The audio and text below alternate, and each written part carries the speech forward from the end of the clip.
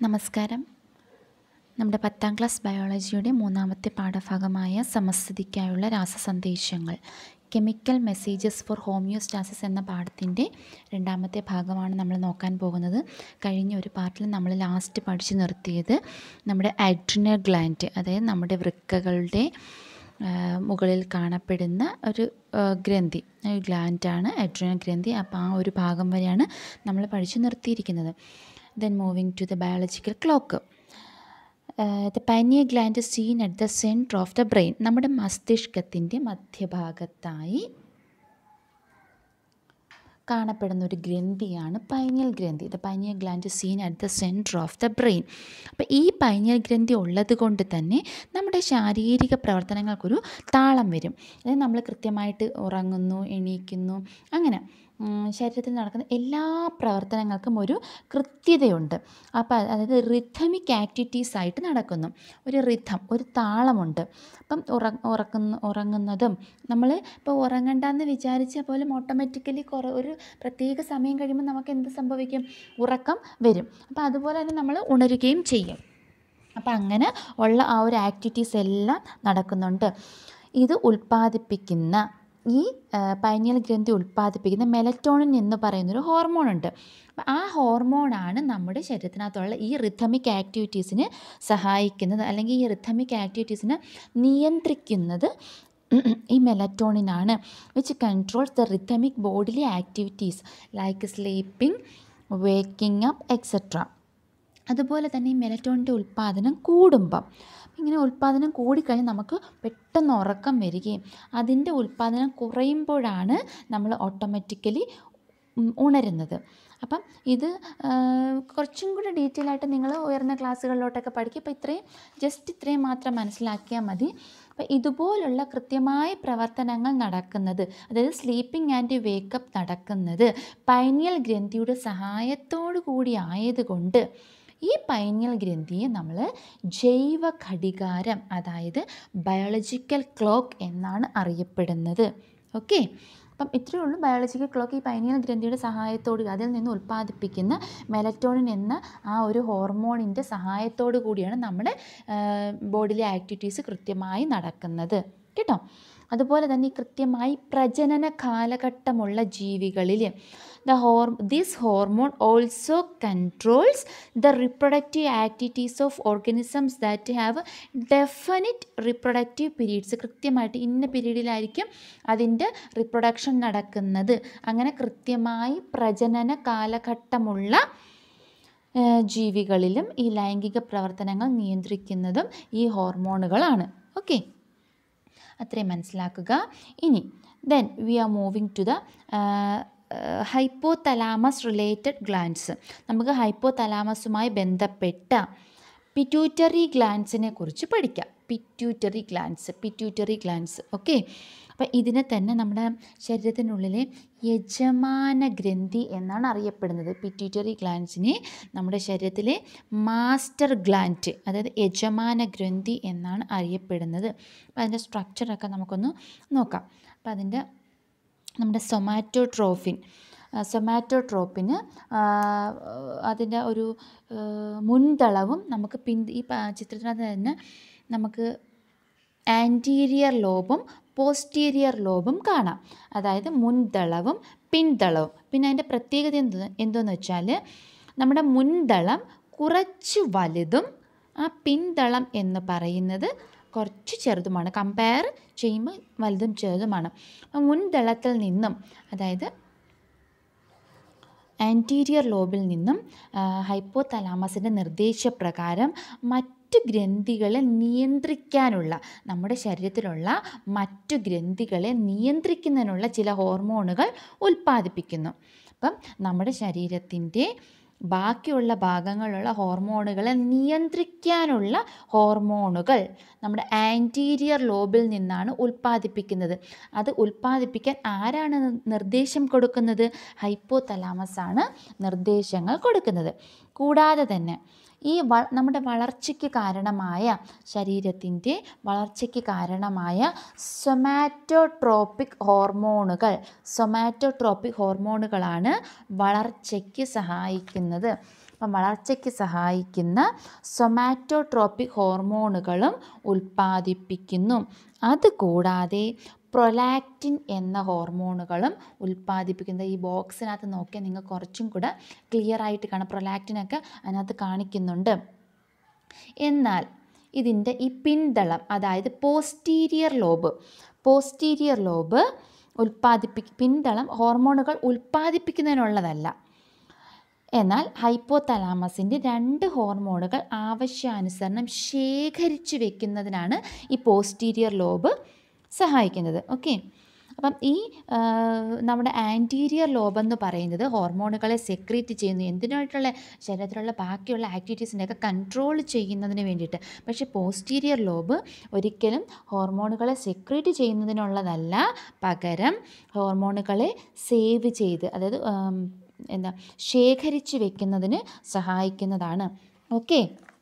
നമ്മുടെ ഈ anterior lobe secrete ചെയ്യുന്ന ഹോർമോണുകളെ കുറിച്ച് നോക്കാം അതിൽ ഫസ്റ്റ് വൺ നോക്കേ തൈറോയിഡ് സ്റ്റിമുലേറ്റിംഗ് ഹോർമോൺ അതായത് ടി എസ് എച്ച് അപ്പം മറ്റ് ഗ്രന്ഥികളുടെ പ്രവർത്തനത്തെ ഉത്തേജിപ്പിക്കുന്ന ഹോർമോണുകളാണ് ട്രോപ്പിക് ഹോർമോൺ ഞാൻ നേരത്തെ പറഞ്ഞില്ലേ ആന്റീരിയർ ലോബ് അതായത് മുൻതളം ഇതുപോലെ മറ്റ് ഗ്രന്ഥികളെ ഉൽപ്പാദിപ്പിക്കുന്ന ഹോർമോണുകളെ സെക്രീറ്റ് ചെയ്യുകയാണ്. അപ്പം അങ്ങനെ ഉള്ള ഹോർമോണുകളെ പറയുന്ന പേരാണ് ട്രോപ്പിക് ഹോർമോണുകൾ ട്രോപ്പിക് ഹോർമോണുകൾ എന്ന് പറയുന്നു. അപ്പം ഞാൻ മുകളിൽ കാണിച്ചത് anterior lobe of the pituitary gland produces hormones which regulate regulate the functions of other endo endocrine glands ഇതിനെയൊക്കെ പറയുന്ന പേരാണ് ട്രോപ്പിക് ഹോർമോൺ. മറ്റു ഗ്രന്ഥികളുടെ പ്രവർത്തനങ്ങളെ ഉത്തേജിപ്പിക്കുന്ന ഹോർമോണുകളാണ് tropic hormone. Hormones which regulate the functions of other endocrine glands these are tropic hormones അപ്പോൾ ഈ T S H എന്ന് പറയുന്നത് അതിന്റെ പേര് സൂചിപ്പിക്കുന്നത് പോലെ തന്നെ തൈറോയിഡ് ഗ്ലാൻഡ്സിനെയാണ് സ്റ്റിമുലേറ്റ് ചെയ്യുന്നത്. Stimulates the activity of the thyroid gland thyroid ഗ്ലാൻഡിനെയാണ് അത് സ്റ്റിമുലേറ്റ് ചെയ്യുന്നത്. And the second one is A A C T H adrenocorticotropic hormone അതെന്തിനാണ് സഹായിക്കുന്നത് എഡ്രിനൽ ഗ്രന്ഥിയുടെ കോർട്ടെക്സ് നമ്മൾ നേരത്തെ പഠിച്ചില്ല അഡ്രിനൽ ഗ്രന്ഥി? അപ്പോൾ ആ അഡ്രിനൽ ഗ്രന്ഥിയുടെ കോർട്ടെക്സിന്റെ പ്രവർത്തനത്തെ ഉത്തേജിപ്പിക്കുന്നു. ആ പേരിനകത്ത് തന്നെ ഉണ്ട് ട്രോപ്പി ഹോർമോൺ എന്ന് വെച്ചാൽ അപ്പോൾ നിങ്ങൾ മനസ്സിൽ കൊണ്ടുവരാൻ ട്രോപ്പി ഹോർമോൺ എന്ന് വെച്ചാൽ ബാക്കിയുള്ള മറ്റു ഗ്രന്ഥികളുടെ പ്രവർത്തനത്തെ ഉത്തേജിപ്പിക്കുന്നതാണ്. അപ്പോൾ അത് തന്നെയാണ് A C T H tropic hormone അപ്പോൾ stimulates the activity of adrenal cortex adrenal ഗ്രന്ഥിയുടെ കോർട്ടെക്സിന്റെ പ്രവർത്തനത്തെ ഉത്തേജിപ്പിക്കുന്നു. അടുത്ത hormone G T H gonado പിന്നെ ട്രോപ്പി ഹോർമോൺ പുരുഷന്മാരിൽ വൃഷണങ്ങളുടെ പ്രവർത്തനം സ്ത്രീകളിൽ അണ്ടാശയങ്ങളുടെ പ്രവർത്തനം എന്നിവ ഉത്തേജിപ്പിക്കുന്നു. Stimulates the activities of lies testis in males and ovaries in females okay then moving to the growth hormone അതായത് ഗ്രോത്ത് ഹോർമോൺ എന്ന് പറയുമ്പോഴത്തേക്ക് നമ്മുടെ ആ വളർച്ചയെ ത്വരിതപ്പെടുത്തുന്നു. അപ്പോൾ ഇത് ഈ സൊമാറ്റോട്രോപ്പിൻ ഹോർമോൺ എന്ന് പറഞ്ഞാൽ ഗ്രോത്ത് ഹോർമോൺ സൊമാറ്റോട്രോപ്പിക് ഹോർമോൺ എന്ന growth hormone which promotes the growth of the body ശരീര വളർച്ച ത്വരിതപ്പെടുത്തുന്നു. പിന്നെ അതുകൂടാതെ പ്രൊലാക്റ്റിൻ ലാക്റ്റ് എന്ന് പറഞ്ഞാൽ മിൽക്ക് ലാക്റ്റ് എന്ന് പറഞ്ഞാൽ മിൽക്ക്. അപ്പം മിൽക്കിന്റെ പ്രൊഡക്ഷനെ സഹായിക്കുന്നു. അപ്പോൾ നമുക്കറിയാം പ്രസവശേഷം സ്ത്രീകളിൽ മുലപ്പാലിന്റെ ആവശ്യമുണ്ട് അല്ലേ? കുഞ്ഞുങ്ങൾക്ക് കൊടുക്കാൻ. അപ്പം മുലപ്പാലിന്റെ ഉൽപ്പാദനം തുടർച്ചയായി ഉണ്ടാകേണ്ടത് അത്യാവശ്യമാണ്. അതിന് സഹായിക്കുന്ന ഹോർമോണാണ് പ്രൊലാക്റ്റിൻ. അപ്പം ഈ സൊമാറ്റോട്രോപ്പിക് ഹോർമോണുകളാണ് ഗ്രോത്ത് ഹോർമോൺ സൊമാറ്റോട്രോപ്പിക് ഹോർമോണും അതുകൂടാതെ ഒരു പ്രൊലാക്റ്റിനും ഉൽപ്പാദിപ്പിക്കുന്നുണ്ട്. ഓക്കെ? അപ്പം നമ്മൾ അത്രയും ഭാഗം അതായത് പിറ്റ്യൂട്ടറിയുടെ ആന്റീരിയർ ലോബ് ഉൽപ്പാദിപ്പിക്കുന്ന ഹോർമോണുകളാണ് ഇനി നോക്കിയത്. ഇനി നമ്മുടെ പാഠഭാഗത്തിന് തുടർ തുടക്കത്തിൽ തന്നെ കാണിച്ചൊരു ചിത്രമാണ് ഈ മുകളിൽ കാണിച്ചേക്കുന്നത്. നമ്മൾ പറഞ്ഞതാണ് അത് എന്തുവാന്ന് നമുക്ക് കുറച്ചും കൂടി ഡീറ്റെയിൽ ആയിട്ട് നോക്കാം. ദാ അതിന് അത് നമുക്ക് ആ ഫസ്റ്റ് ചിത്രത്തിൽ കാണുമ്പം തന്നെ അറിയാം അവർ തമ്മിൽ രണ്ട് വ്യക്തികൾ തമ്മിൽ വളർച്ചയിൽ നല്ല വ്യത്യാസമുണ്ടല്ലേ അപ്പം ഈ പാഠവുമായി അല്ല സോറി ഈ ചിത്രവുമായി ബന്ധപ്പെട്ട് നമ്മുടെ ഹോർ തൊട്ട് മുമ്പേ ഞാൻ പറഞ്ഞു പിറ്റ്യൂട്ടറിയുടെ പിന്തളം കുറച്ച് ഹോർമോണുകൾ സംഭരിച്ച് വെക്കുന്നുണ്ട് സ്റ്റോർ ചെയ്ത് വെക്കുന്നുണ്ടെന്ന് പറഞ്ഞു. അപ്പോൾ ആ പിറ്റ്യൂട്ടറിയുടെ പിന്തളത്തിൽ ഹൈപ്പോ തലാമസിന്റെ തന്നെ ചില ഹോർമോണുകൾ സംഭരിക്കപ്പെടുന്നുണ്ട്. അപ്പോൾ ആ സംഭരിക്കുന്നത് പറഞ്ഞതിന് ശേഷം ഇത് പറയാം. അപ്പോൾ സംഭരിച്ച് വെച്ചിരിക്കുന്ന ഹോർമോണുകൾ ഏതൊക്കെയാണെന്ന് വെച്ചാൽ ഓക്സിടോസിൻ. നിങ്ങൾ കേട്ടിട്ടുണ്ടായിരിക്കും ഓക്സിടോസിൻ. ഓക്സിടോസിൻ കേട്ടിട്ടില്ലെങ്കിൽ ദാണ്ട് നമ്മുടെ ചിത് പാഠഭാഗത്തിൽ തന്നെ ഉണ്ട് ഓക്സിടോസിൻ. അതായത് നമ്മുടെ ഗർഭിണികളിൽ പ്രസവിക്കാറാകുന്ന സമയത്തുണ്ടാകുന്ന ഒരു ഹോർമോണാണ് ഈ ഓക്സിടോസിൻ എന്ന് പറയുന്നത്. അപ്പോൾ ആ സമയത്താണ് ഹൈപ്പോ തലാമസിൽ നിന്നും പിറ്റ്യൂട്ടറിയുടെ പിന്തളത്തിലേക്ക് പോസ്റ്റീരിയർ ലോബിലേക്ക് വരികയും അവിടെ നിന്നും രക്തക്കുഴലുകൾ വഴി അവയുടെ ടാർജസ്റ്റ് ടാർജറ്റ് സെൽസായ ഗർഭാശയത്തിലെ മി മിനുസ പേശികളിലേക്ക് സ്മൂത്ത് മസിലേക്ക് എത്തുകയും അവിടെ നിന്ന് ആ സ്മൂത്ത് മസിൽസിന്റെ കൺട്രാക്ഷൻ സങ്കോചം വർദ്ധിപ്പിച്ച് പ്രസവം എന്ന പ്രക്രിയ സുഗമമാക്കുകയും ചെയ്യുന്നു. ഒന്നുമില്ല. പ്രസവ സമയത്ത് നോക്കെ facilitate childbirth by stimulating the contraction of smooth muscles ഇപ്പം പ്രസവ സമയമാകുമ്പോഴേക്കും കുഞ്ഞിന്റെ പൂർണ വളർച്ച എത്തിക്കഴിഞ്ഞാൽ പിന്നെ അമ്മയുടെ വയറ്റിൽ കുഞ്ഞിന് കിടക്കാൻ പറ്റത്തില്ല. അപ്പം ആ സമയത്ത് ഈ മസിൽസിനെയൊക്കെ ഇങ്ങനെ എന്തു ചെയ്യും? സ്റ്റിമുലേറ്റ് ചെയ്യുകയും അത് പ്രസവം എന്ന പ്രക്രിയ സുഗമമാക്കുകയും ചെയ്യുന്നു. ഫെസിലിറ്റേറ്റ് ലാക്ടേഷൻ അപ്പം പ്രസവ സമയം കഴിഞ്ഞാൽ പിന്നെ നമ്മൾ തൊട്ട് മുമ്പേ പറഞ്ഞില്ലേ പ്രൊലാക്റ്റിൻ പറഞ്ഞില്ല അപ്പം ലാക്ടേഷൻ മുലപ്പാലിന്റെ ആ ഒരു ഉൽപ്പാദനം. പിന്നെ അതുപോലെ ഈ ചില നിങ്ങൾ കേട്ടിട്ടുണ്ടെങ്കിൽ ചില പ്രസവ സുഖപ്രസവം നടക്കാവുന്നത് കൊണ്ട് ഓപ്പറേഷൻ നടത്തി എന്നൊക്കെ പറയാ പറഞ്ഞ് കേട്ടിട്ടുണ്ടോ? അപ്പോൾ ഈ ചില സ്ത്രീകളിൽ പ്രസവ പ്രക്രിയ നടക്കാത്ത അവസരത്തിൽ ഓക്സിറ്റോസിൻ ഇഞ്ചെക്റ്റ് ചെയ്ത് നൽകാറുണ്ട്. അപ്പം അത് പ്രസവ പ്രക്രിയ കൃത്യമായി നടക്കുന്നതിന് വേണ്ടിയിട്ടും പിന്നെ മുലപ്പാൽ ഉൽപ്പാദന ഫെസിലിറ്റേറ്റ് ലാക്ടേഷൻ മുലപ്പാൽ ഉൽപ്പാദനം നടക്കുന്നതിനുമൊക്കെയാണ് ഇത് സഹായിക്കുന്നത്. പിന്നെ അടുത്തത് വാസോപ്രസിൻ അപ്പം vasopressin or antidiuretic hormone എന്നാണ് അതിന്റെ പേര്. വാസോപ്രസിൻ അഥവാ antidiuretic hormone which helps in the reabsorption of water in the kidney കിഡ്നിക്കകത്ത് എന്താണ്? വൃക്കയിൽ ജലത്തിന്റെ പുനരാകിരണത്തിന് സഹായിക്കുന്നു.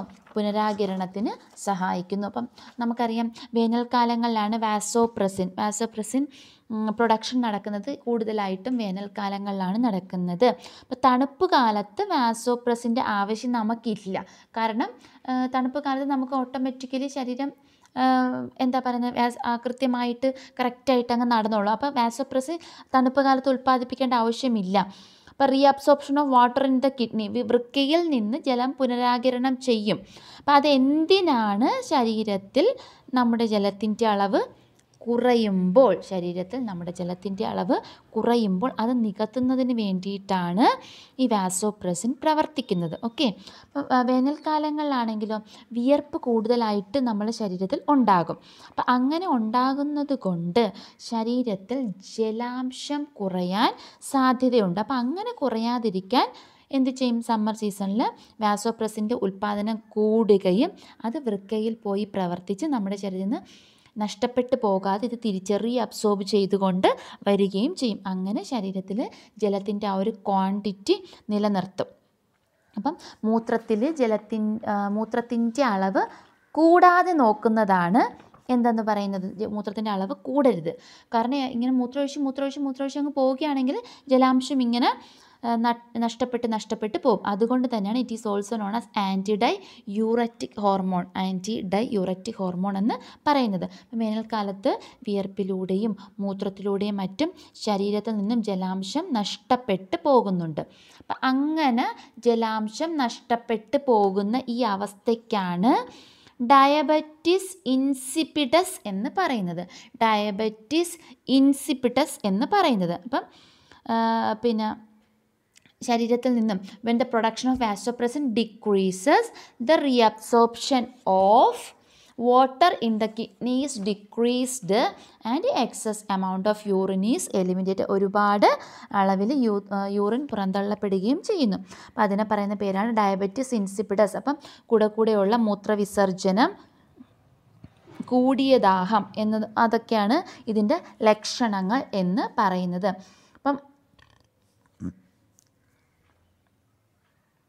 അപ്പം the condition in which excess amount of is eliminated eliminated when of water in the kidneys is decrease decreased due to the production of vasopressin decreases വാസോപ്രസിന്റെ ഉൽപ്പാദനം കുറയുമ്പോൾ വാസോപ്രസിന്റെ ഉൽപ്പാദനം കുറയുമ്പോൾ വൃക്കയിൽ ജലത്തിന്റെ പുനരാകരണം കുറയും അല്ലേ? അപ്പം നമ്മുടെ ശരീരത്തിൽ നിന്ന് ഇങ്ങനെ മൂത്രം തോനെയാവും മൂത്രത്തിൽ കൂടി ജലാംശം നഷ്ടപ്പെടുന്നു. അപ്പം ഈ അവസ്ഥയാണ് ഡയബറ്റിസ് ഇൻസിപ്പിഡസ് എന്ന് പറയുന്നത്. അപ്പം ഇവിടെ മൂത്രം കൂടിയ അളവിൽ പുറന്തള്ളപ്പെടുന്നു. അപ്പം മൂത്രത്തിൽ കൂടി ഗ്ലൂക്കോസ് ആണ് പുറന്തള്ളപ്പെടുന്നത് എങ്കിൽ മൂത്രമാണ് ഇവിടെ ഒരുപാട് പോകുന്നത്. എന്നാൽ മൂത്രത്തിൽ കൂടി ഗ്ലൂക്കോസ് ആണ് പുറംതള്ളപ്പെടുന്നതെങ്കിൽ അതിന് നമുക്ക് ഡയബറ്റിസ് മെലിറ്റസ് പ്രമേഹം എന്ന് അറിയപ്പെടുന്നു. Diabetes mellitus. അപ്പോൾ ഈ ഡയബറ്റീസ് ഇൻസിപ്പിഡസിന്റെ സിംറ്റംസ് എന്ന് പറയാൻ നമ്മൾ പറഞ്ഞു. Frequent urination increased thirst etcetera ഇതാണ് അവയുടെ സിംറ്റംസ് എന്ന് പറഞ്ഞു അത് ഈ വാസോപ്രസിന്റെ ഉൽപ്പാദനം തന്നെയാണ് നമുക്കിവിടെ ഈ ഫ്ലോ ചാർട്ടിൽ കൂടി നൽകിയിരിക്കുന്നത്. ഓക്കെ ഇനി നമ്മൾ നേരത്തെ പറഞ്ഞതുപോലെ ആ ചിത്രത്തിനകത്തുള്ള ഡ്വാർഫിസം ആൻഡ് ജൈജാന്റിസം എന്നും പറഞ്ഞ് കൊടുത്തിട്ടുണ്ട്. പാഠഭാഗത്തിന്റെ തുടക്കത്തിൽ തന്നെയായിരുന്നു നമ്മൾ ആ ഹോർമോണുകളുമായിട്ട് ബന്ധപ്പെട്ടൊരു ചിത്രം തന്നെയാണ് കാണിച്ചിരിക്കുന്നത്. അപ്പം അതെന്തുവാണെന്ന് നമുക്കൊന്ന് നോക്കാം. If the production of somatotrophin അതായത് ഗ്രോത്ത് ഹോർമോൺ വളർച്ചയുടെ ഘട്ടത്തിൽ സൊമാറ്റോട്രോഫിന്റെ ഉൽപ്പാദനം കൂടിയാൽ ഉൽപ്പാദനം കൂടിപ്പോയാൽ അമിതമായ ശരീര വളർച്ച ഉണ്ടാകുന്നു. അപ്പം it increases somatotrophy increasing during the growth phase it leads to the excessive growth of the body ബോഡിയുടെ എക്സസീവ് ഗ്രോത്ത് ഉണ്ടാകുന്നു. This condition is called gigantism ഈ അവസ്ഥയെ പറയുന്ന പേരാണ് ജൈജാന്റിത ഫീമാകാരത്വം എന്ന് മലയാളത്തിൽ പറയും. ഫീമാകാരത്വം ഇത് ഓവറായിട്ട് ഇത് ഉണ്ടാകുന്നു. എന്നാൽ വളർച്ചാ ഘട്ടത്തിൽ ഇതിന്റെ ഉൽപ്പാദനം കുറയുകയാണെങ്കിൽ അപ്പം ഇത് it leads to the another stage വളർച്ചയുടെ വളർച്ചാ സ്റ്റേ ഘട്ടത്തിൽ ഇതിന്റെ ഉൽപ്പാദനം കുറഞ്ഞാൽ അതിനെ വാമനത്വം അതായത് ഡ്വാർഫിസം എന്ന് പറയുന്നു. ഇത് കൂടാതെ തന്നെ അതായത് അപ്പോൾ നമ്മുടെ ഗേൾസിനൊക്കെ ആണെങ്കിൽ പതിനെട്ട് വയസ്സ് വരെയും ബോയ്സിന് ഏകദേശം ഇരുപത്തൊന്ന് വയസ്സ് വരെയൊക്കെ ആകുമ്പോഴാണ് ഈ ഒരു ഗ്രോത്ത് എന്ന് പറയുന്നത് ഇങ്ങനെ നിലയ്ക്കുന്നത്. അപ്പം വളർച്ചാ ഘട്ടത്തിനു ശേഷം സൊമാറ്റോട്രോപ്പിന്റെ അമിതമായ ഉൽപ്പാദനം മൂലം നമ്മുടെ താടിയെല്ല് വിരലുകൾ എന്നിവിടങ്ങളിലെ അസ്ഥികൾ ഓവറായിട്ട് വളരുന്ന സാഹചര്യങ്ങൾ ഉണ്ടാകും. അപ്പം അങ്ങനെ ഒരു സാഹചര്യം ഉണ്ടായാൽ അതിന് പറയുന്ന പേരാണ് അക്രോമെഗലി. അക്രോമെഗലി അക്രോ എന്ന് വെച്ചാൽ അറ്റം. മെഗ വലുത് അലി തകരാർ. ഇതിന്റെ അറ്റം അസ്ഥികളുടെയൊക്കെ അറ്റം വലുതായി തകരാറിലായി ആകുന്ന അവസ്ഥ അസ്ഥികളുടെ അറ്റം വളർന്ന് തകരാറിലാകുന്ന അവസ്ഥ. Acromegaly is the condition caused by the excessive production of somatotropin സൊമാറ്റോട്രോപ്പിന്റെ excessive production of somatotropin after the growth phase growth phase കഴിഞ്ഞാലും അത് ഒരുപാടായിട്ട് ഉണ്ടാകുന്നു.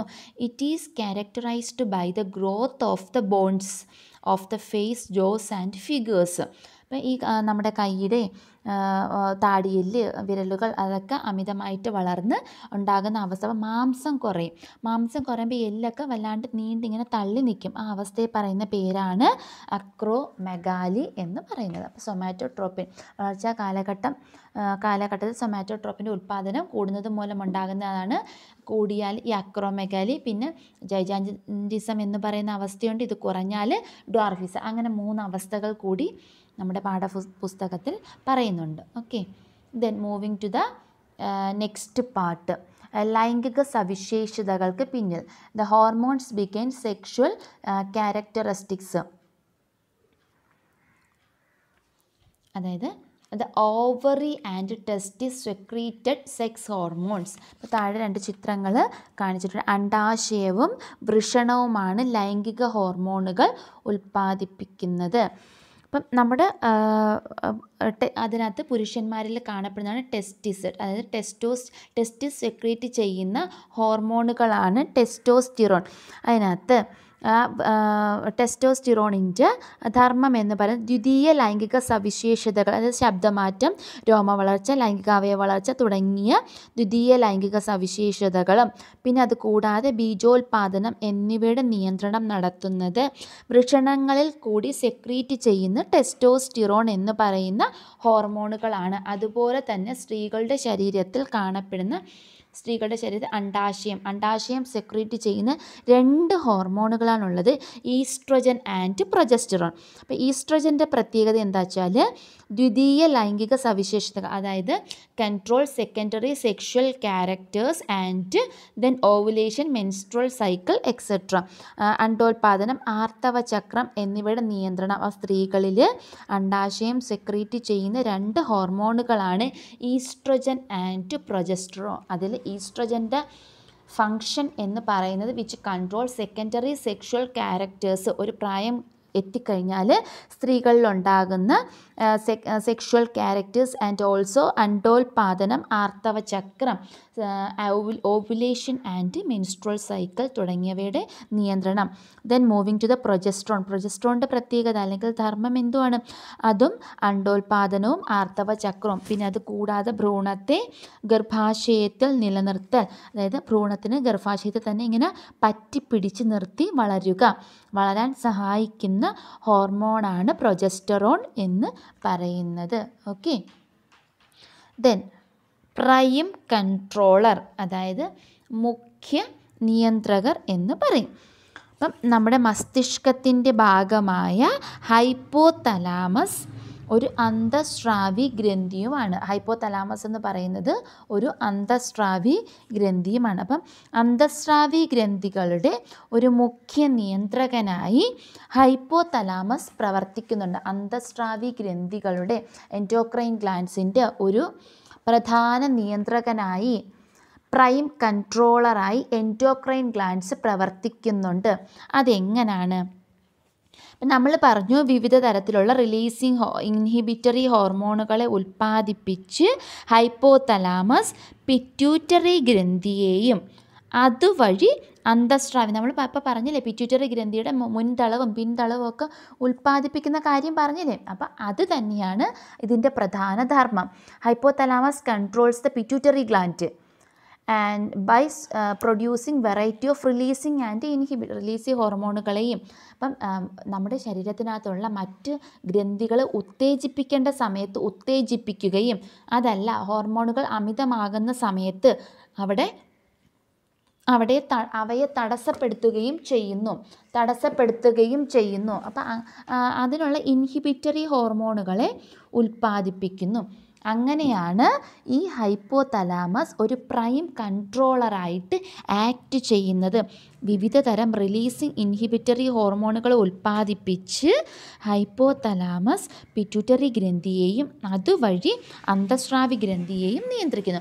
അതിന്റെ ഒരു ചിത്രമാണ് നമ്മുടെ പാഠപുസ്തകത്തിൽ കാണിച്ചിരിക്കുന്നത്. ഹൈപ്പോ തലാമസ് അത് സെക്രീറ്റ് ചെയ്യുന്നത് റിലീസി ഹോർമോൺസും ഇൻഹിബിറ്ററി ഹോർമോൺസും ഹി റിലീസി ഹോർമോൺസ് എന്ന് പറയുമ്പോഴത്തേക്ക് stimulates the anterior lobe of the pituitary and secretes tropic hormones secrete ഹോ ട്രോപ്പിക് ഹോർമോൺസ് സെക്രി ഹോർ ട്രോപ്പിക് ഹോർമോൺസിനെയും പിന്നെ അതുപോലെ തന്നെ ഇൻഹിബിറ്ററി ഹോർമോൺസ് തടസ്സപ്പെടേണ്ട അവസരങ്ങളിൽ തടസ്സപ്പെടുത്തും.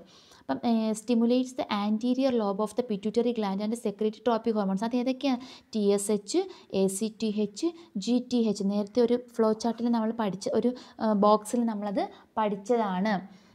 പിന്നെ അത് കൂടാതെ inhibitory hormones inhibits the production of tropic hormones in the anterior lobe of the pituitary gland അതായത് നമ്മുടെ പിറ്റ്യൂട്ടറി ഗ്രന്ഥിയുടെ മുൻതളത്തിൽ ട്രോപ്പിക് ഹോർമോണുകൾ ഉൽപ്പാദനത്തെ തടയുന്നു. കാരണം ഒരുപാട് വേണ്ട വേണ്ടാത്ത സാഹചര്യത്തിൽ അവിടെ തടഞ്ഞു നിർത്തുന്നു. വേണ്ടുന്ന സാഹചര്യത്തിൽ അതിനെ ഉത്തേജിപ്പിക്കുന്നു. അതാണ് അതിനകത്ത് കാണിച്ചിരിക്കുന്നത് അങ്ങനെ തന്നെയാണ് ഈ ഹൈപ്പോ തലാമസ് പിന്നെ ഒരു മൊത്തത്തിലുള്ളൊരു മുഖ്യ നിയന്ത്രകനായിട്ട് പ്രവർത്തിക്കുന്നത്. ഓക്കെ. ഇനി ഈ മറ്റ് ജീവികളിലും ഇതുപോലെ ചില രാസവസ്തുക്കളും ഒക്കെ കാണുന്നുണ്ട്. ആ ഒരു ഭാഗമാണ് നമ്മൾ അടുത്തതായിട്ട് നോക്കുന്നത്. ഇപ്പം പിന്നെ the chemical substances that are secreted by certain animals to the surroundings to facilitate communication are called pheromones നിങ്ങൾ ഈ ഫിറമോൺസ് എന്ന് കേട്ടിട്ടുണ്ടോ? അപ്പം ചില ജന്തുക്കൾ ആശയവിനിമയത്തിനായി ചുറ്റുപാടിലേക്ക് ശ്രവിക്കുന്ന രാസവസ്തുക്കളാണ് ഫിറമോണുകൾ അപ്പം ദ കെമിക്കൽ സബ്സ്റ്റൻസസ് രാസവസ്തുക്കൾ that are secreted by certain animals ചില ജന്തുക്കൾ which are secreted to the surroundings surroundings ചുറ്റുപാടിലേക്ക് ശ്രവിക്കുന്നു അപ്പോൾ ഈ ഫിറോമോണുകൾ എങ്ങനെയാണ് ജീവികൾക്ക് ഉപകാരപ്പെടുന്നത് എന്ന് നമുക്ക് നോക്കാം. നമ്മൾ ഉറുമ്പൊക്കെ ഇങ്ങനെ വരി വരിയായിട്ടൊക്കെ പോകുന്നത് നിങ്ങൾ കണ്ടിട്ടില്ലേ? അപ്പോൾ അത് ഒന്നിന് പുറകെ ഒന്നായിട്ട് പോകുന്ന ഈ ഫിറോമോണുകൾ ഇങ്ങനെ ശ്രവിച്ച് ശ്രവിച്ച് പോകുന്നത് കൊണ്ടാണ് കേട്ടോ. അപ്പോൾ അതെങ്ങനെയാണ് അത് ഹെൽപ്പ് ചെയ്യുന്നത് എന്ന് ചോദിച്ചാൽ അല്ലെങ്കിൽ എന്തിനു വേണ്ടിയാണ് അട്രാക്റ്റീവ് മെയിൽസ് ഇണയെ ആകർഷിക്കാൻ? ഇപ്പം പൂക്കൾക്ക് ചുറ്റും ഇങ്ങനെ വണ്ടുകൾ ഇങ്ങനെ വട്ടമിട്ട് പറക്കുന്നതും ഒക്കെ നിങ്ങൾ കണ്ടിട്ടുണ്ടായിരിക്കുമല്ലോ. അതാണ് അട്രാക്റ്റീവ് മെയ്റ്റ്സ് അതിന്റെ ഇണയെ ആകർഷിക്കുന്നതിന് വേണ്ടിയിട്ട് the informing the availability of food ഭക്ഷണ ലഭ്യത അറിയിക്കുക. ഇങ്ങനെ ഈ ഉറുമ്പുകളൊക്കെ ഇങ്ങനെ പോകുമ്പോഴത്തേക്ക് അത് എവിടെയെങ്കിലും ഒരിടത്ത് ഭക്ഷണം കണ്ടു വെച്ചിട്ടായിരിക്കും. അപ്പോൾ അത് ഒന്നിന് പുറകെ ഒന്നായി നമ്മളിപ്പോൾ ആ ഉറുമ്പിന്റെ വരി ഒന്ന് തെറ്റിച്ച് വിട്ടാലും ഇതിലേക്കൂടാണോ പോകുന്നത്? അതിലേക്കൂടെ തന്നെ. ഒന്ന് എവിടെയാണോ പോകുന്നത്? അതിന്റെ പുറകെ ആയിരിക്കും അടുത്തത് പോകുന്നത്. നിങ്ങൾക്ക് അങ്ങനെ ഒരു അനുഭവം കാണുമല്ലോ. Then determining the path of travel സഞ്ചാരബാധ. ഞങ്ങൾ ഇതിലേക്കൂടാണ് പോയത് എന്നുള്ളൊരു അറിവ്. അറിവ് കൊടുക്കാനായിട്ട് ദെൻ സിഗ്നലിംഗ് ഡേഞ്ചേഴ്സ് അപകടം ഏതെങ്കിലും ഭാഗത്ത് അപകടം ഉണ്ട് എന്ന് അറിയിക്കുന്നതിന് വേണ്ടിയിട്ട്. Then helps honey bees and terminates live in colonies തേനീച്ചകളും ഉറുമ്പുകളും ഒക്കെ ഇങ്ങനെ കോളനി ആയിട്ടായിരിക്കും ജീവിക്കുന്നത്. അപ്പം ആ കോളനി വിട്ട് അവർ പിന്നെ അങ്ങോട്ട് പോകത്തില്ല. അപ്പം ഇവിടെ ഇന്ന ഭാഗത്ത് ഉണ്ട്. അങ്ങനെയൊക്കെ കാണിക്കുന്നത് ഈ ഫിറമോണുകൾ ഉപയോഗിച്ചിട്ടുള്ള രാസസന്ദേശങ്ങൾ വഴിയാണ്. ഓക്കെ. ഈ ഫിറമോണുകൾക്ക് ഉദാഹരണം പറയുകയാണെങ്കിൽ നമ്മുടെ കസ്തൂരിമാനിലെ കസ്തൂരി നിങ്ങൾ കേട്ടിട്ടുണ്ടോ? കസ്തൂരിമാൻ കസ്തൂരിമാനിനകത്ത് ഉള്ള കസ്തൂരിയുണ്ട്. ഒരു മസ്കോൺ എന്ന് പറയും. അപ്പോൾ അവരുടെ അതിന്റെ ശരീരത്തിൽ നിന്ന് തന്നെയാണ് ഇതിങ്ങനെ ശ്രവിക്കുന്നത് അതൊരു തരത്തിലുള്ള ഫിറമോൺ തന്നെയാണ്. അപ്പം അത് ഒരു സിഗ്നലായിട്ട് ബാക്കിയുള്ളവയ്ക്ക് കിട്ടുകയും അതിന്റെ മണ മണ മണം പിടിച്ച് പിടിച്ചാണ് ബാക്കിയുള്ളവ ആ ഒരു ഡയറക്ഷനിൽ കൂടി പോകുന്നത്. ദെൻ വെരുകിലെ സിവറ്റോൺ വെരുക എന്ന് പറയുന്ന ആ രണ്ടാമത് കാണിച്ചിരിക്കുന്ന ഒരു പൂച്ച കാണുന്നില്ലേ? വെരുകിലെ സിവറ്റോൺ ദെൻ പട്ടുനൂൽ ശലഭത്തിലെ ബോംബിക്കോൾ പട്ടുനൂൽ ശലഭത്തിലെ ബോംബിക്കോൾ. ബോംബിക്കോളിന്റെ ഫീമെയിൽ സിൽക്ക് വോ മൊത്ത് തുടങ്ങിയവയെല്ലാം ഫിറോമോണുകൾക്ക് ഉദാഹരണങ്ങളാണ്. പിന്നെ അത് കൂടാതെ തന്നെ artificial pheromones are used for pest control in agricultural fields നമുക്ക് കാർഷിക മേഖലയിൽ ഈ കൃത്രിമ ഫിറമോണുകളൊക്കെ ഉപയോഗിച്ച് കീടനിയന്ത്രണം നടത്താറുണ്ട്. അതായത് ഈ ഫിറമോൺ ഫിറമോൺ കെണി എന്ന് പറയും. ഫിറമോണുകൾ ഉപയോഗിച്ച് കെണി വയ്ക്കുമ്പോൾ ആ ഫിറമോണുകളുടെ മണം അല്ലെങ്കിൽ അവയുടെ ആ കെമിക്കൽ ആ ഒരു ഇത് അറിഞ്ഞിട്ട് ജീവികൾ അവിടെ വരികയും ആ കെണി ആ കെണിയിൽ ജീവികൾ കുടുങ്ങുകയും ചെയ്യുന്നുണ്ട്. കേട്ടോ? അപ്പം അതാണ് ഫിറമോൺ കെണി എന്നൊക്കെ പറയുന്നത്. Then moving to the plan to have hormones അപ്പോൾ സസ്യങ്ങൾക്ക് ജന്തുക്കളുടെ സസ്യങ്ങൾക്ക് ഉള്ളതുപോലെ തന്നെ ജന്തുക്കൾക്കും എന്തുണ്ട്? ഹോർമോണുകളുണ്ട്. പക്ഷേ ഹോർമോണിന് ഗ്ലാൻസ് ഇല്ല. അപ്പം ചെടി ചെടിയുടെ വിവിധ ഭാഗങ്ങളിൽ നിന്ന് ഭാഗങ്ങളിലാണ് ഈ ഹോർമോണുകൾ ഉണ്ടാകുന്നത്. അപ്പം സസ്യങ്ങളിലെ ജീവൽ പ്രവർത്തനങ്ങളെ നിയന്ത്രിക്കുകയും ഏകോപിപ്പിക്കുകയും ചെയ്യുന്നത് സസ്യ ഹോർമോണുകളാണ്. അപ്പം ഇവയെ സസ്യ വളർച്ച നിയന്ത്രക വസ്തുക്കൾ പ്ലാന്റ് ഗ്രോത്ത് റെഗുലേറ്റേഴ്സ് എന്നും അറിയപ്പെടുന്നുണ്ട്. സസ്യവളർച്ച നിയന്ത്രക വസ്തുക്കൾ എന്നും അറിയപ്പെടുന്നുണ്ട്. ഓക്കെ പല സസ്യ ഹോർമോണുകളും സസ്യവളർച്ചയ്ക്ക് പ്രോത്സാഹിപ്പിക്കുന്നതോ അല്ലെങ്കിൽ സസ്യവളർച്ച കഴിഞ്ഞാൽ അവയെ തടയുന്നതോ ഒക്കെ ആകാം. അപ്പം അങ്ങനെയുള്ള കുറച്ച് ഹോർമോണുകളുടെ പേരുകളാണ് നമ്മൾ നോക്കാൻ പോകുന്നത്. കുറേ ഏകദേശം അഞ്ച് ഹോർമോണുകളാണ് ഉള്ളത്. പ്രധാനമായിട്ടും auxin second one cytokinin third one അബ്സസ് sorry gibberellins and then ethylene and abscisic acid ഇങ്ങനെ അഞ്ച് തരത്തിലുള്ള ഗ്രോത്ത് ഹോർമോൺസ് ആണ് ഉള്ളത്. അതിൽ ഈ എഥിലിൻ എന്നും എഴുതിയേക്കുന്നത് മാത്രം വാതക രോഗം എയറി ഫോംസ് ആയിരിക്കും. ബാക്കിയെല്ലാം നോർമലാണ് അപ്പം അതിൽ first one auxins okay first one എന്ന് പറയുന്നത് ഓക്സിൻസ് ആണ്. അപ്പോൾ ഓക്സിൻസ് എന്തിനൊക്കെയാണ് സഹായിക്കുന്നത്? Cell growth cell elongation promoting the growth of terminal buds fruit formation. കോശ വളർച്ചയ്ക്കും കോശം ഇങ്ങനെ ദീർഘിക്കുന്നതിനും അഗ്രമുകൾ അതിന്റെ തുമ്പൊക്കെ ഇങ്ങനെ വളരുന്നതിനൊക്കെ സഹായിക്കുന്നു ഫലം. ഫ്രൂട്ട്സ് ഫോമേഷൻ ഫലങ്ങൾ ഉണ്ടാകുന്നതിനും ഓക്സിൻസ് പ്രധാനമായും സഹായിക്കുന്നുണ്ട്.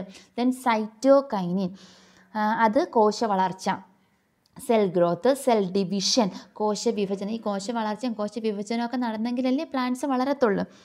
ദെൻ കോശ വൈവിധ്യവൽക്കരണം സെൽ ഡിഫറൻസിയേഷൻ സെൽസ് ഇങ്ങനെ ഡിഫറൻസിയേഷൻ ഡിഫറൻഷിയേറ്റ് ചെയ്ത് ഡിഫറൻഷിയേറ്റ് ചെയ്ത് ഇപ്പം ലൈറ്റ് ആയിട്ടുള്ള കോശങ്ങളിൽ നിന്നും പലതരത്തിലുള്ള ഇപ്പോൾ പാരൻ കൈമ കോളൻ കൈമ സ്ക്ലിയറൻ കൈമ അങ്ങനെ പലതരത്തിലുള്ള സെൽസിനെ നമ്മൾ പഠിച്ചിട്ടില്ലേ?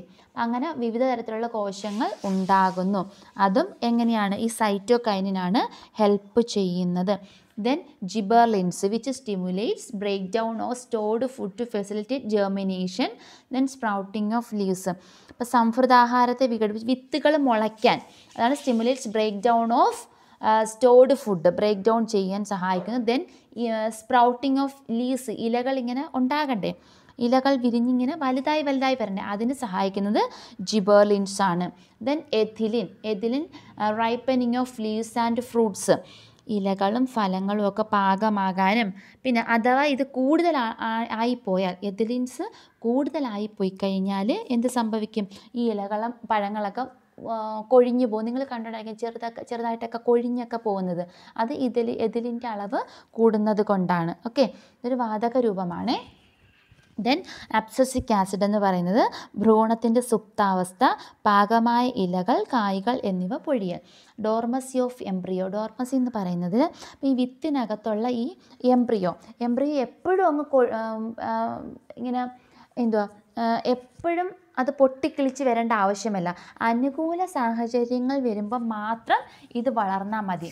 അല്ലെങ്കിൽ ഇതിങ്ങനെ ആ ഒരു ഡോർമസി പീരീഡിൽ ഇങ്ങനെ ഉറങ്ങി അല്ലെങ്കിൽ മുളയ്ക്കാതിരിക്കുന്ന ഒരു പ്രത്യേക സാഹചര്യം പൊതിഞ്ഞു വെച്ചേക്കും. അതിന് അനുകൂല സാഹചര്യം വരുമ്പോൾ മാത്രമേ ഇത് എന്താവത്തുള്ളൂ? പൊട്ടി മുളയ്ക്കത്തുള്ളൂ. അതിന് സഹായിക്കുന്നതാണ് അപ്സസിക് ആസിഡ്. ഓക്കെ പിന്നെ കായ്കളൊക്കെ കായ്കളും പൊഴിഞ്ഞു പോകുന്നതിനും ഇത് കാരണമാകുന്നുണ്ട്. റൈപ്പണ്ട് ലീസ് ആൻഡ് ഫ്രൂട്ട്സ് എന്ന് പറയും. അപ്പോൾ ഇലകളുടെ വാട്ടം പുഷ്പിക്കുക അതിനെയൊക്കെ നിയന്ത്രിക്കുന്നത് ആരാണ്? അബ്സസിക് ആസിഡാണ് അപ്പോൾ അതുമായി ബന്ധപ്പെട്ടൊരു ബോക്സാണ് കൊടുത്തിരിക്കുന്നത്. അത് കറക്റ്റായിട്ട് അപ്പുറത്ത് കൊടുത്തിരിക്കുന്ന ഇത് നോക്കിക്കഴിഞ്ഞാൽ നിങ്ങൾക്കിത് ഫില്ല് ചെയ്യാൻ പറ്റും. ഇനി ആർട്ടിഫിഷ്യൽ പ്ലാൻ ഹോർമോൺസ് ഇപ്പം നമ്മൾ പഠിച്ചത് പ്ലാൻ ഹോർമോൺസ് ആണ്. അത് ഇന്ന ഇന്ന കാര്യങ്ങൾക്കൊക്കെ സഹായിക്കുന്നു. പക്ഷേ ഇത് ആർട്ടിഫിഷ്യൽ ആയിട്ടും കാർഷിക മേഖലയിൽ ഉപയോഗിക്കുന്നുണ്ട്. അപ്പം കൃത്രിമ സസ്യങ്ങളുടെ സ്വാഭാവിക ഹോർമോണുകളുടെ രാസഘടന തിരിച്ചറിഞ്ഞ് ഇതിനെ കൃത്രിമമായി കൃത്രിമമായിട്ട് ഉൽപ്പാദിപ്പിക്കും. അപ്പം അത് ഏതൊക്കെയാണ് കൃത്രിമമായിട്ട് ഉൽപ്പാദിപ്പിക്കുന്നത് നമുക്ക് നോക്കാം. ഓക്സിൻസ്. ഓക്സിൻസ് കൃത്രിമമായിട്ട് ഉൽപ്പാദിപ്പിക്കുന്നുണ്ട്. അതെന്തിനു വേണ്ടിയിട്ടാണ്? ഈ വ്യക്തി വ്യത്യസ്ത തരത്തിലുള്ള ഓക്സിൻസ് ഉപയോഗിക്കുന്നുണ്ട്. ഫലങ്ങൾ അകാലത്തിൽ പൊഴിയുന്നത് തടയാൻ കർഷ കർഷകർക്ക് പലതരത്തിലുള്ള ലാഭങ്ങൾ കിട്ടുന്നതിന് വേണ്ടിയിട്ടൊക്കെയാണ് ഇത് ഉപയോഗിക്കുന്നത്. അപ്പോൾ ഫലങ്ങൾ അകാലത്തിൽ കൊഴിഞ്ഞു പോകുന്നത് തടയാനും വേരുകൾ മുളപ്പിക്കാനും കളകളെ നശിപ്പിക്കാൻ കുഞ്ഞു കുഞ്ഞു കളകളൊക്കെ അതിന്റെ ഇടയ്ക്ക് കൂടെ കയറി വരത്തില്ല. അപ്പോൾ അതൊക്കെ നശിപ്പിക്കാനും കാർഷിക മേഖലയിൽ ഇത് ഉപയോഗിക്കുന്നു it is used in agricultural field to prevent dropping of premature fruits അപ്പോൾ കുഞ്ഞായിരിക്കുമ്പോഴേ കൊഴിഞ്ഞു കൊഴിഞ്ഞു പോകുന്നത് തടയാനായിട്ട് ഓക്സിൻസ് പ്രയോഗിക്കുന്നു. For the sprouting of roots റൂട്ട്സൊക്കെ ഇങ്ങനെ പൊട്ടി വരാനായിട്ടും ആൻഡ് വീഡിസൈഡ് കളകൾ നശിപ്പിക്കുന്നതിന് കുഞ്ഞു കുഞ്ഞു കളകളൊക്കെ ഇല്ലാതാക്കുന്നതിനും സഹായിക്കുന്നു. ദെൻ ജിബർലിൻസ് അതെന്തിനാണ് ഉപയോഗിക്കുന്നത്? മുന്തിരി apple. It is used for increasing fruit size in grapes ഗ്രേപ്സിന്റെ ആപ്പിളിന്റെയൊക്കെ ഫ്രൂട്ട് സൈസ് ഉണ്ടാക്കാനും preventing ripening of fruits to assist marketing marketing അപ്പം നമ്മൾ വിൽക്കാനൊക്കെ ആയിട്ട് കൊണ്ടുവയ്ക്കത്തില്ലേ? വിൽക്കാനൊക്കെ ആയിട്ട് കൊണ്ടുവയ്ക്കുമ്പോൾ അതിന്റെ ആ ഒരു വലിപ്പവും ആ ഒരു തിളക്കമൊക്കെ കണ്ടിട്ട് നമ്മൾ മേടിക്കും. അപ്പോൾ അതിന് വേണ്ടിയിട്ടും പിന്നെ അത് കൂടാതെ ഇന്ന് കൊണ്ടുവയ്ക്കുന്ന ഫലം നാളെയും മറ്റന്നാളൊക്കെ ആകുമ്പോൾ ഇതങ്ങ് വാടി പഴുത്ത് പോയി കഴിഞ്ഞാൽ പിന്നെ കർഷകർക്ക് അത് വിൽക്കാൻ പറ്റത്തില്ലല്ലോ. അപ്പം അങ്ങനെ നമുക്കറിയാമായിരിക്കും നിങ്ങളെ വീട്ടിലൊക്കെ ചില മാങ്ങയൊക്കെ വാങ്ങിച്ചുകൊണ്ട് വന്ന് എത്ര ദിവസമായാലും ഇത് പഴുക്കത്തില്ല. അതൊക്കെ ഈ ജിബലിൻസൊക്കെ ഉപയോഗിച്ച് വെച്ചേക്കുന്നത് കൊണ്ടാണ് കേട്ടോ അപ്പം അതിന് ഉപയോഗിക്കുന്നത് then ethylene. Ethylene is used for flowering of pineapple plants at a time and for ripening of tomato lemon orange etcetera. ഈ പൈനാപ്പിൾ ചെടികൾ ഒരേ സമയം ഒറ്റ സ്ട്രെച്ചിനങ്ങ് പഴുത്തു കഴിഞ്ഞാൽ ഇത് ഉപയോഗിക്കാൻ പറ്റും. അതുപോലെ തക്കാളി ചെറുനാരങ്ങ ഓറഞ്ച് തുടങ്ങിയ പഴങ്ങൾ പഴുപ്പിക്കാനും ഒക്കെ ഉപയോഗിക്കുന്നു. പിന്നെ അത് കൂടാതെ എത്തിഫോൺ എന്ന് പറയുന്ന ഒരു കെമിക്കലുണ്ട് ഈ എത്തിഫോൺ ഒരു ദ്രാവക രൂപമാണ്. ഈ ദ്രാവക രൂപത്തിൽ ലഭിക്കുന്ന പദാർത്ഥം റബ്ബർ മരങ്ങളില്ലേ നമ്മളുടെ? റബ്ബർ ട്രീസിനകത്തൊക്കെ ഉപയോഗിക്കുമ്പോൾ ഇതങ്ങ് ഈ എത്തിഫോൺ അങ്ങ് എതിലിനായിട്ട് മാറും. മാറിക്കഴിഞ്ഞ് റബ്ബറിനകത്ത് പാലുൽപാദനം നടക്കുന്നു. അപ്പം അങ്ങനെ ഉൽപ്പാദിപ്പിക്കുമ്പോൾ ശരിക്കും പാൽ കിട്ടുകയും അത് പ്രയോഗിക്കുക ഉപയോഗിക്കുകയൊക്കെ ചെയ്യാം. ഇനി abscisic acid. It is used for harvesting fruits at the same time പഴവർഗ സസ്യങ്ങൾ ഒരേ സമയത്ത് വിളവെടുപ്പ് നടത്തുക ഈ ഫലങ്ങളൊക്കെ ഒറ്റ ട്രിപ്പായിട്ട് എടുക്കുവാണെങ്കിൽ കർഷകർക്ക് അത് കൊണ്ടുപോയി ഒറ്റ ട്രിപ്പാക്കി വിറ്റൂടെ.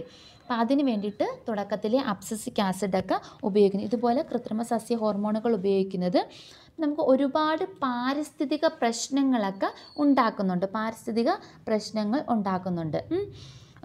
അതായത് പിന്നെ നമ്മൾ ഉപയോഗിക്കുന്നത് ഒരാവശ്യത ശരി നമ്മൾ ഒരു നല്ല കാര്യത്തിന് വേണ്ടി.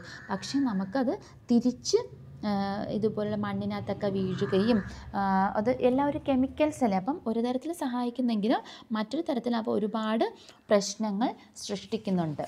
ഓക്കെ?